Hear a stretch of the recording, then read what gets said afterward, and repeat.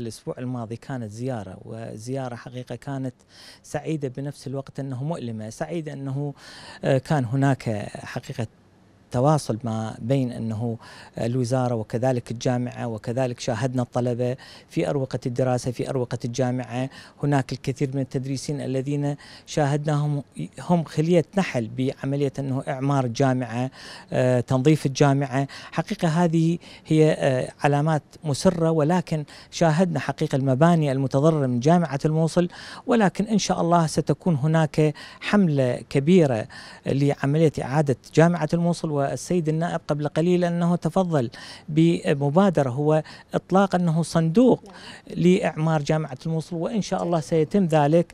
آه، كذلك حقيقة يوم أمس أنه أطلقت رواتب آه، آه، تدريسي وموظفي جامعة الموصل. إن شاء الله سيكون هناك حملة ودعم لجامعة الموصل هي الجامعة العريقة الجامعة المعطاء والتي ستكون هي حقيقة كما كانت هي درة من درر التعليم العالي العالي. إن شاء الله ستعود وسيعود أنه أبنائها وكذلك أنه موظفيها ومنتسبيها وهذا إن شاء الله سيكون أنه بتعاون أنه إدارة الجامعة وكذلك الوزارة. يعني حقيقة معالي وزير التعليم العالي من الشخصيات الوطنية الكفؤة وزيارته لمدينة الموصل قبل أيام ودخوله إلى الصرح الكبير لمدينة الموصل الجامعة.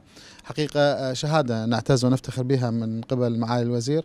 وحقيقة زيارتنا هذا اليوم استبشرنا خيرا بإطلاق رواتب آه، موظفي جامعة الموصل وخصوصا بمعلوماتي السابقة أنه مع الوزير كان مستمر بدوام في وزارة المالية عدة أيام لغرض إطلاق هذه الرواتب وتدليل الصعاب واتخاذ القرارات السريعة آه، في إنصاف هؤلاء الشريحة الكبيرة داخل مدينة الموصل وهم الكفاءات العلمية. أيضا حقيقة ناشدنا مع الوزير أن آه، يتم افتتاح صندوق لإعمار مدينة الموصل من خلال حساب لكل من لكل الكفاءات العراقية وأبناء أبناء الشعب العراقي وأبناء مدينة الموصل للتبرع بناء الجامعة وإعادة أعمارها من جديد وحقيقة آه، استبشرنا خيرا بأنه سيقوم بهذا الموضوع وسنكون من المساهمين الفاعلين في هذا الموضوع تحديدا أنا وزملائي كثير من النواب إن شاء الله.